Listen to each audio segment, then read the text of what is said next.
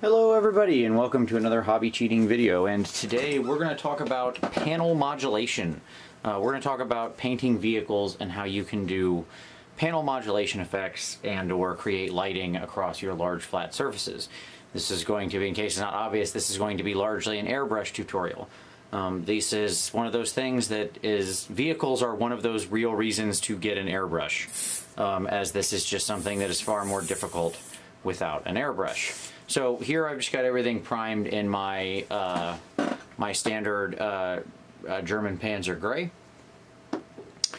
And next up what we're going to do is we're going to take some cold gray.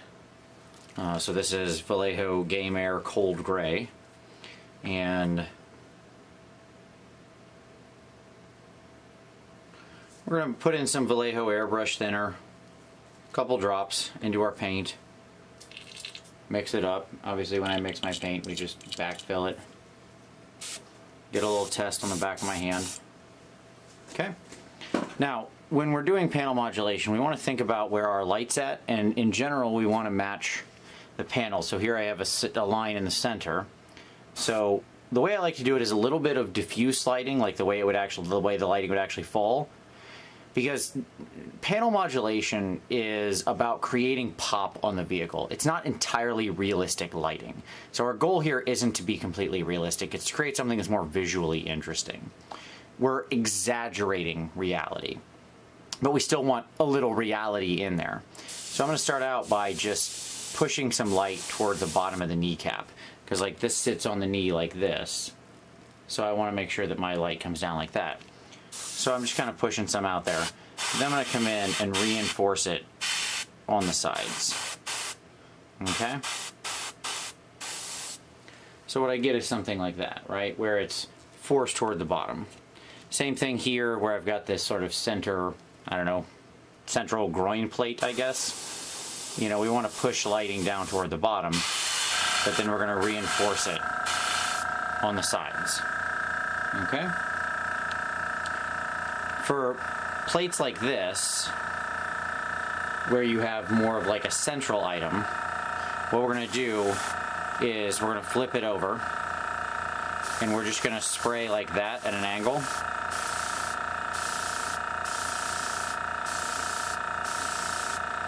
and create something like that where the edges are still dark but the center is lighter. Okay? So again just pop it on the edge of our fingers there. And you'll notice the angle I'm operating at because I'm spraying almost perpendicular to the piece. Okay? Do the other leg here real quick. So again we start by catching our light down at the bottom and then we get in tight and we reinforce it on each side of the panels. Now where it's the most obvious is on these big top plates. Okay, so this sits like this on the top of the model. So we got to think about where we want our light spots. Well, the back here is going to be mostly metal because that's what these vents are. But so what we're going to do is we're going to create some light first coming down like that.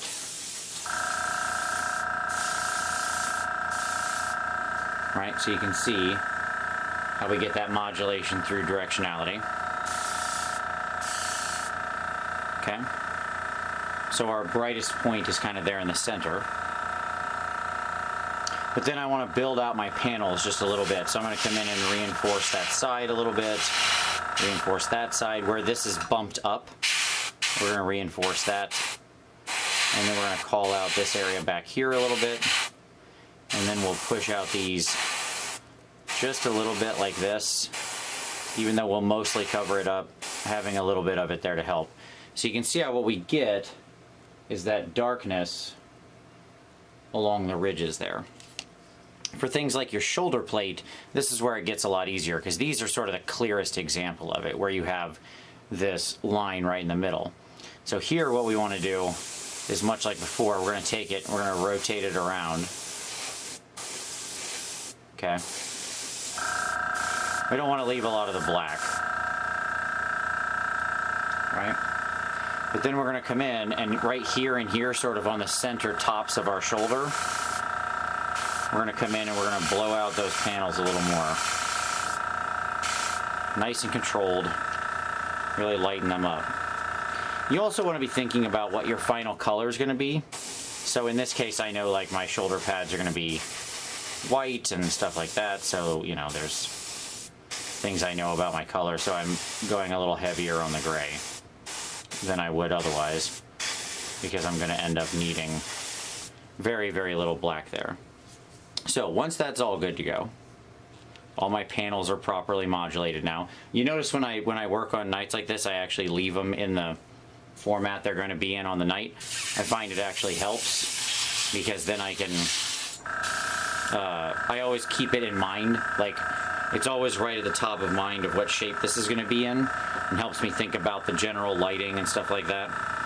Um, when I'm doing robots, I always leave the panels off. Never ever put your panels on your your uh, your robot if you can at all avoid it. In the case of things like Knight Titans. All right. So now we're going to go to straight white for our next step. And we're just going to reinforce that. So what we're going to do is this is just some uh, this is just some Game Air Dead White. And same thing. We just backfill it there to get it all nice and mixed up. Do a little test on the back of our hand. It's flowing well. So now what we're going to do is we're going to reinforce the areas we really want to. So I'm going to come in very carefully across the bottom and then right across the edge and create our hot spots. Okay? If it's too extreme, you can just soften it with a little extra white. The white over the darker parts will basically give you a nice gray gradient, right? So you can soften it up just like that. Same thing here. We're gonna focus on the edge a little bit, focus on that edge. So we wanna blow out those edges and then reinforce them, right? Same thing once again.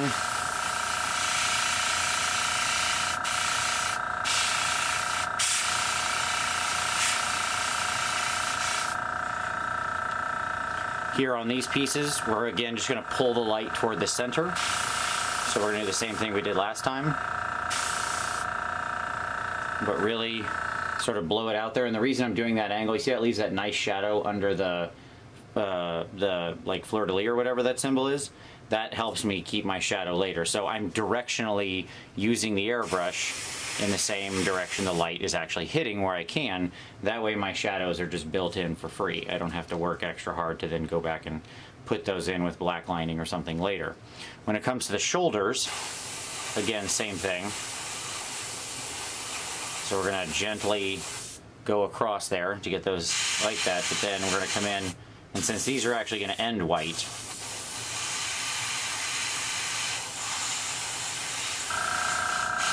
split by the panels, we're going to really reinforce that out. Right, so you can see how we end with that soft modulation effect. We'll do it one more time here.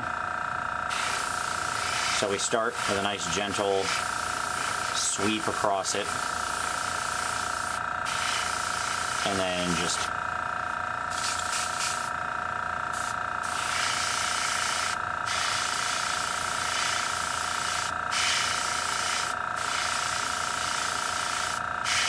Very gently we build it up. Don't try to overspray and do it all at once. You don't need to overspray. You don't need to get your paint running and wet and gross. You can do it gently and get there. So with the top part, again, right, we're going to spray in the direction of the light.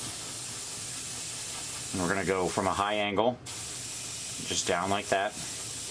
Use the contour of the thing to help us out. You can see then how we get that. And then we're going to come in and we're to modulate it out.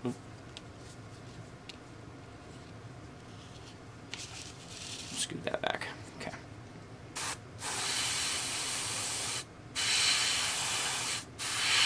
So we'll push some hard white here on that edge. And on that edge. Right here in the center of this panel. And that panel. Really blow up that edge there. And there. A little bit toward the back there, back there. Off of that edge. And off of that edge.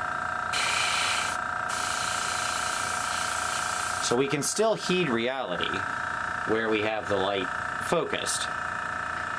But we can make it sort of an, we're, we're going for an exaggerated reality. Again, that's the key. If it looks totally fake, I've seen some people when they do panel modulation, they just blow it like way out. They like make each panel super duper different. There's like hard black distinctions and stuff in between panels. Problem is when you do that, it just ends up looking completely fake because you, it doesn't look like anything that's even close to reality. I like doing it with you can do in the undershade I can afford to be over bright because we're gonna pull this back okay uh, when we put on the next layers of paint you'll see how we end up pulling it back but what I'm gonna do now is let this all set because I really want this to dry and set. I don't want any of this soaking through. So I'm going to give this several minutes to like completely set, clean out my airbrush, and I'll be back in a moment and we'll put some color over top of this and show how it looks and show how we reinforce that. All right, and we're back. So uh, you can see everything is dried and set. And one of the reasons I wanted to let it all really set is because I wanted to do to mask off some areas here. So I've got like the inner part of the leg plate masked. I've got a little design of a triangle masked on this piece and uh, I've got one of these legs masked off. Um, the reason I don't have the other one masked off is because, uh, well, I, I will here real quick, but all I do is I keep little pieces, you can see it's already been used, but I keep little pieces of my Tamiya tape next to me. So that way if I want to mask real quick for a straight line, bing, bang, boom, I can just grab it, slap it on there, and then we've got that.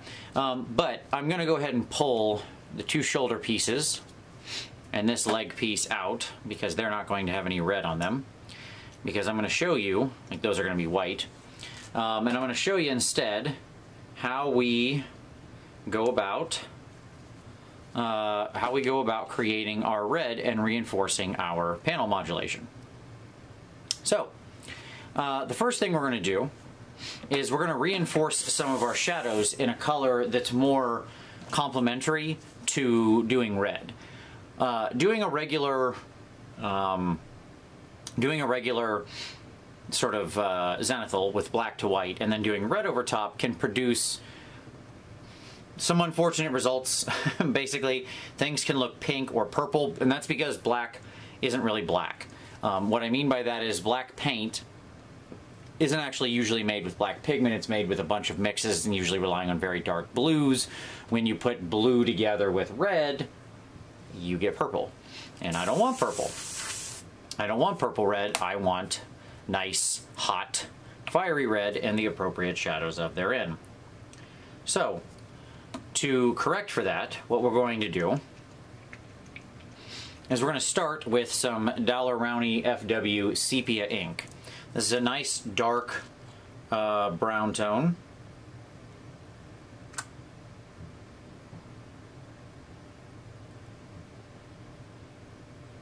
So, we're going to go ahead and get some of that.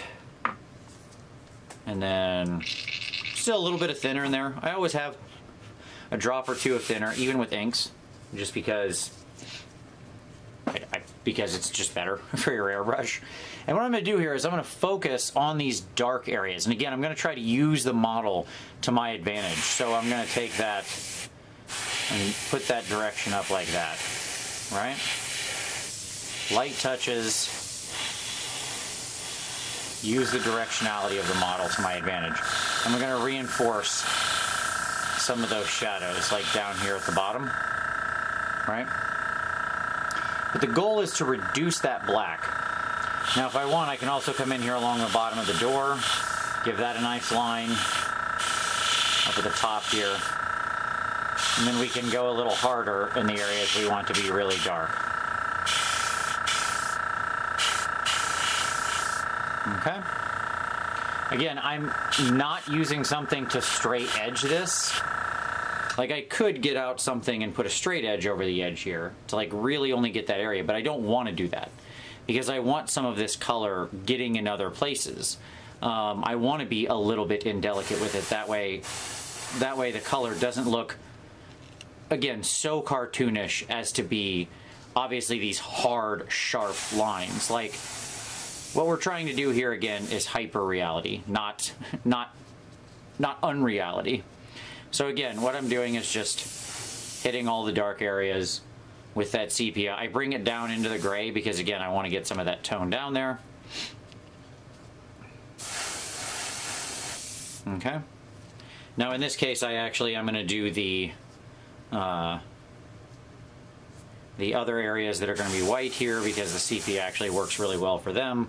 So just very quickly, this isn't part of the red, but you know, I'll take my shoulder pad and here at the edge and right up the middle. Okay.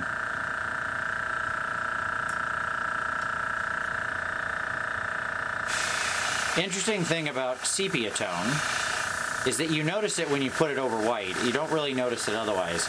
But you notice how there's like a slight greenness to the tone? Like, can you see that slight hint of green in there? There's another reason I'm doing that even under the red and under the white and why I'm using sepia. Because I want that slight green. Green is the complementary color to red, so hence when you, like you can see some slight green tones in that sepia. See how that looks kind of green, even though that's just a brown color? By, when we do that, red's complementary color is green. By having a slight green tone underneath our red, we're actually going to make it so it turn, when the red hits it, we're to get the complementary color over the top, and it's to deaden that red. So as opposed to turning black or something like that, well, instead what we'll get is a nice, dead, desaturated version of that red, okay? Which is what we really want. We want the centers of the panels here to be really nice and hot and bright, okay? And we want the edges of the panels to be uh, or sorry, the, the you know sort of sh shaded parts of the panels to just be desaturated, more of a dead red. Uh, if we want to think of it in terms of dead red and live red. This is true, by the way. You can you can use this same trick with other colors too. Um, it's a little tough with blue panels because it's complementary being orange. There's not a lot of colors out there that contain orange. Um, but you can always just mix a little straight in to like a dark version of that color. Like you can take a dark blue, mix a little drop, drop or two of orange into it, and you'll get a very dead version of that color. So, kind of a cool trick. All right. So now we're going to move on to actually turning this stuff red. So we're going to grab some Hull Red here. This is a very, very, very deep red. And now what we're going to do is we're going to reinforce our shadows more, and we're going to extend this out a little bit. So, again, we're just backfilling there. Test on the back of our hand. We've got a nice simple flow there. Okay. So now what I'm going to do is, again, we're going to go ahead and focus on this darker area.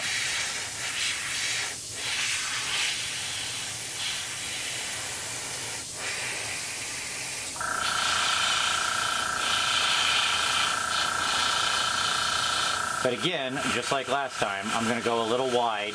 And in fact, I'm going to go a little wider than I did with the sepia. I want to cover everywhere I did with the sepia, plus a little more. Okay? So what I get is something like that. We're really going to use the fact that we have that dual action on our airbrush. Okay, so I'm controlling both how far down I'm depressing the top and how far back I'm rocking it. And this is very gentle, light touches. Okay? All right. You can see that. We'll do the same thing over here. Obviously the rest of the pieces are much easier than the back.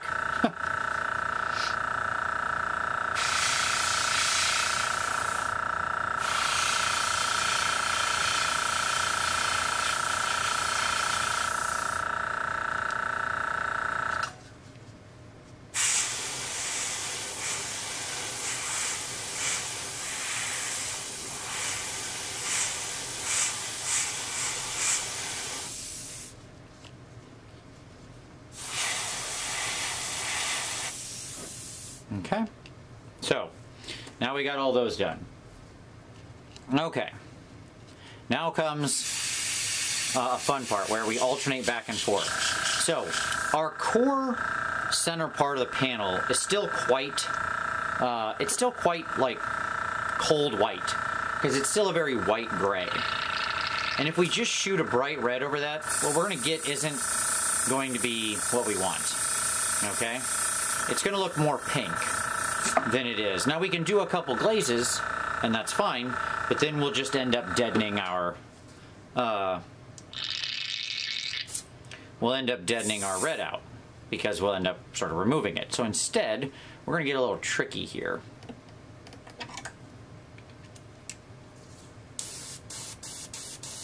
I'm going to actually switch airbrushes so I can do both of these back to back real quick and I'll show you.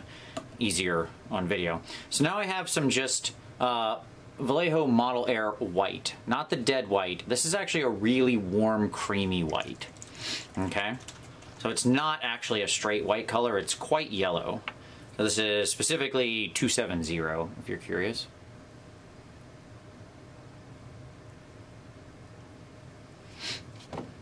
And again, we've got a couple drops of thinner in there because we always have a couple drops of thinner in there. By the way, if you manage to have multiple airbrushes, the best investment you'll ever make is a quick change for your airbrushes. So, now I'm going to take this white, this creamy white, and I'm going to go ahead and go over the middle areas here. I'm going to effectively reinforce those areas that I wanted to be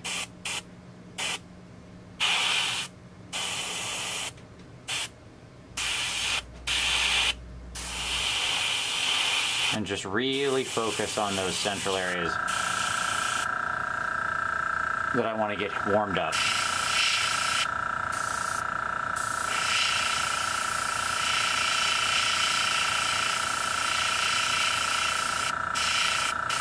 Okay.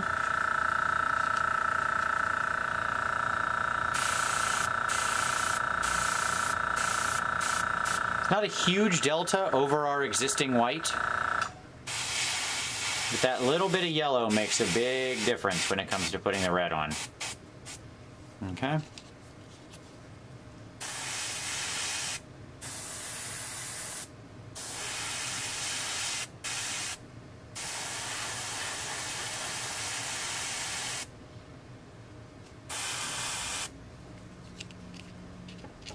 Okay.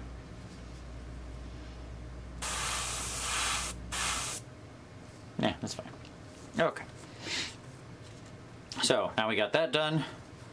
Actually gonna put a little drop thinner in that. We're gonna quick change the airbrush here and we're gonna go back to our other one to do some red. And the reason that I'm keeping the white and didn't empty out the airbrush is because we're gonna get sneaky here. We're gonna do this to really get a nice bright uh, panel modulation. We're gonna do a couple different passes of this. So our main color is uh, Vallejo Model Air Ferrari Red. It's a really nice, bright red. It is very much a close color to the, the actual literal Ferrari red. So I'm going to put, let's say about four parts of that in there.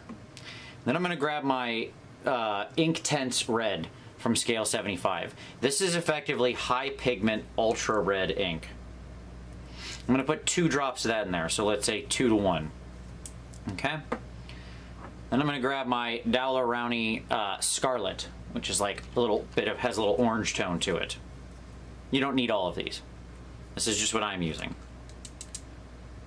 If you have a red ink, you can grab all these if you want.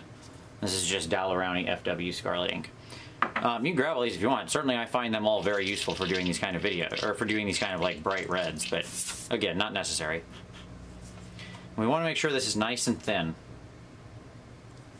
So we add we go we add a little more thinner at the end then really make sure that's that's nice and mixed. Now how do we know if it's thin enough? We test on the back of our hand and we see what kind of red we get out of that. Hey, that's a nice bright red. Okay, so now what we're gonna do is we're gonna give everything a coat of this, all right? Nice and thin. Nice, even, smooth coat. It's very thin paint. We don't want to over apply or we will get poolage.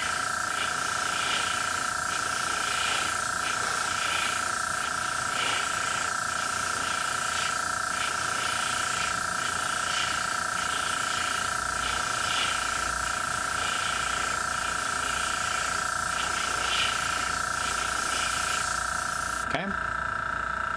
Now, I'm going to that dry and see how that looks. You can tell that right there still looks a little pink, right? Like it's not quite as rich red as we want. That's okay. So what I'm going to do is I'm going to let I'm going to set that down for a moment. I really want to let that paint set, okay? Because colors don't always dry the same as they do right when they come out of the airbrush. So while I'm waiting, we're going to give everything else a nice quick coat.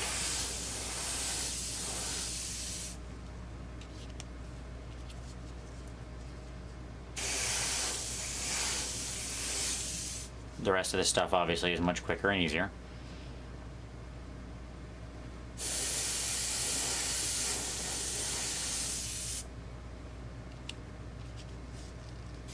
There. That little leg plate, I'll tell you what. I do wish they had made the leg plates on the lower part of the leg of this, this armature like a little bit bigger. Like, what is that? Very tiny. Okay. So now that we've now that I've got it set, say okay, I want this to be a little more red. It's not quite red enough for me, so I'm going to come in. First of all, I'll get the sides as well there.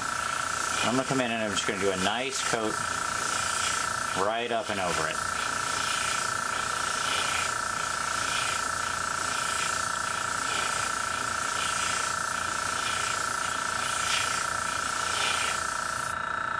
And now, that second glaze basically from the airbrush, look at how rich that looks, right?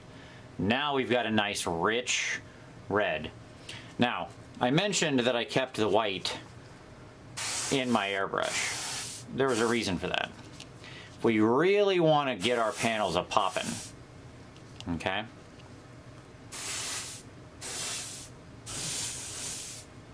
Which I do then what we're going to do is we're going to change back to our white here real fast. Leaving my red ink in. I'd put some extra thinner in that in there. Okay.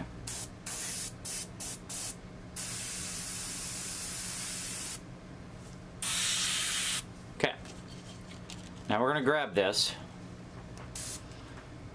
And what we're going to do is we're just going to give it a little blast right there in the middle. Right there on the edge. Right there on the edge.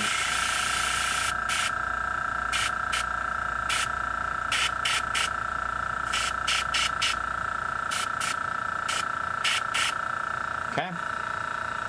So we're just bringing those panels up, just creating some more hot spots. Do one on the knee here.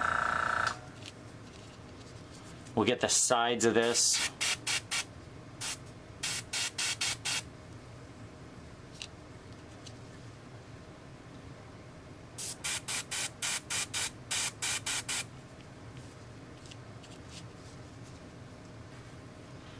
here we'll just kind of hit right for that center part. Okay? Now, then we go back to our red.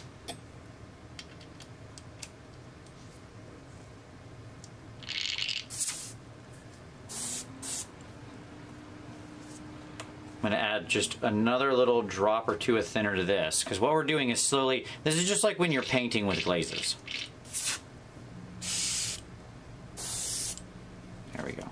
But again, the thinner we make it out of an airbrush, the more dangerous we get. We got to really have control of our spray or we'll get pooling and everything will go south. So now, come back over that. Some nice, confident, straight along strokes. We're not letting the brush stand still.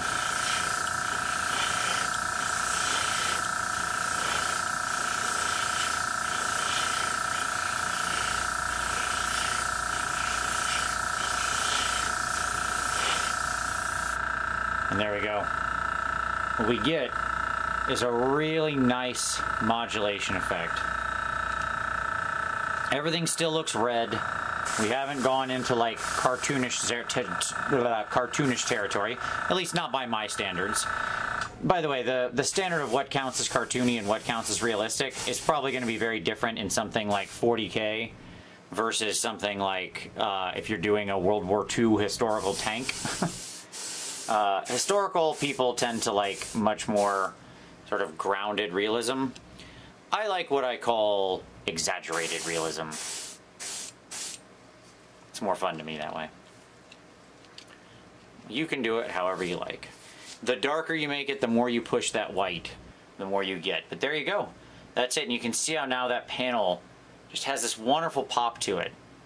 Now what I'll do from here over at the table is obviously I'm going to go in and I'll black, you know, I'll, I'll line all these lines out, all these little vents, make those dark. By making the lines dark and that kind of stuff, I'll actually make the rest of this seem even brighter.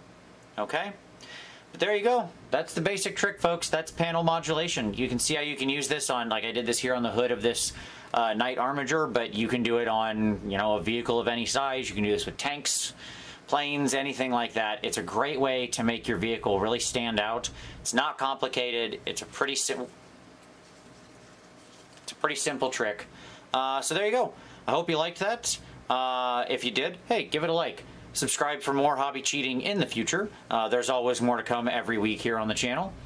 Uh, but as always, I very much appreciate you watching this one. If you've got uh, if you've got suggestions for future hobby cheating videos, feel free to drop those down in the comments. Always looking to answer any questions that we've got. But as always, thank you very much, and we'll see you next time.